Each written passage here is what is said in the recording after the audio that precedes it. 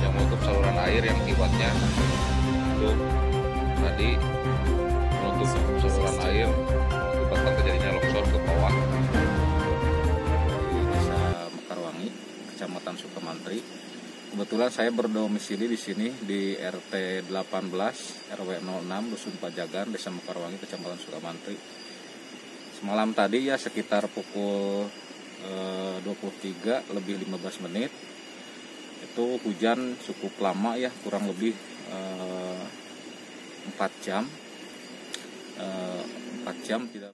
Waktu kejadian juga saya langsung eh, izin pak saya mau lapor gitu lah. Saya langsung lapor ini terjadi musibah longsor malam itu jam 11 saya langsung chat WA ya alhamdulillah. Tadi siang sih sudah ada ke sini udah turun. Dari Tagana juga ada terus dari UPR malahan rencananya sekarang katanya mau mau ini. Yang tertimpa ini hanya rumah. Rumah. Ya atapnya Pak? Ya atapnya.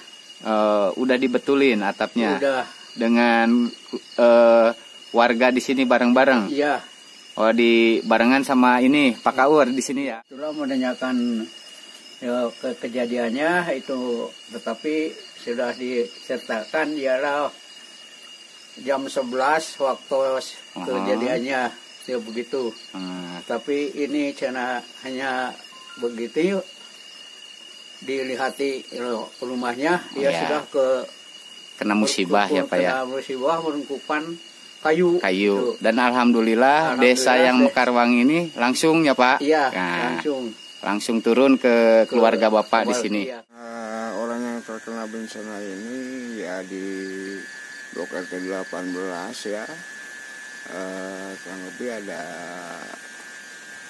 lima lima lima kakak ya Lima kakak itu terkena longsoran atau terkena pohonan yang jatuh Pak? terkena longsoran ada yang terkena pepohonan yang jatuh Pohonannya jenis apa Pak?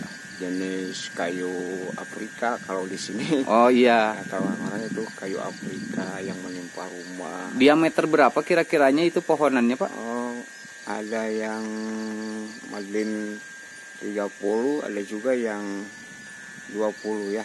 Udah lumayan agak gede ya Pak ya? Rumah ya, lumayan.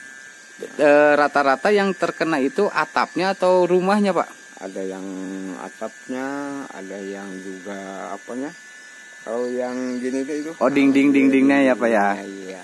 Oh, tadi siang ya alhamdulillah warga masyarakat sini semuanya serempak ya untuk eh, apa eh, mengerjakan pepohonan ya runtuhan yang menimpa rumah warga ya alhamdulillah sekarang udah hampir selesai ya untuk eh, apa hmm, yang apa itu me- Membereskan ya, Pak, membersihkan.